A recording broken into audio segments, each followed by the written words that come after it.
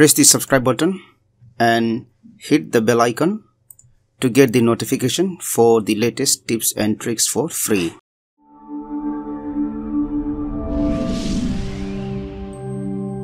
Hello everyone and welcome to my YouTube channel and in this video today we will see how to know if someone has blocked you on their WhatsApp account.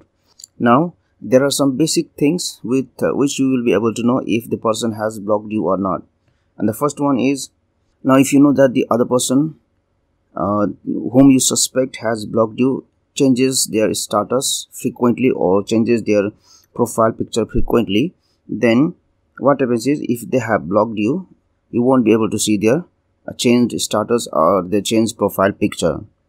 And also if you try to send a message to them then you won't see these uh, the blue dotted ticks these blue dotted ticks indicate that the message has been delivered and they have read their messages.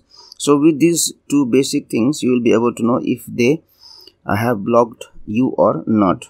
But this is not the hundred. But this is not hundred percent correct because maybe the other person may not have used WhatsApp for since long time.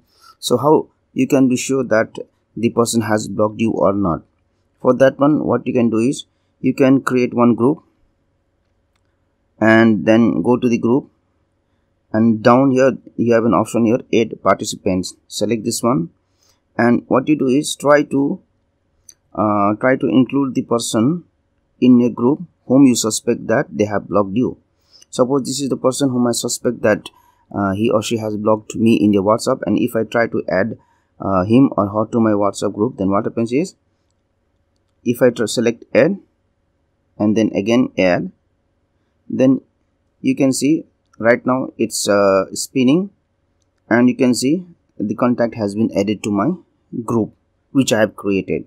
But suppose the person has blocked you then when you try to add that person to your group then you will just see the it goes on spinning and the person or the contact won't be added to your group. So with this you can be sure that the person has blocked you or not in their whatsapp so this is how you will be able to know if someone has blocked you on whatsapp. Thank you for watching this video and please subscribe to my youtube channel for more tips and tricks. Thank you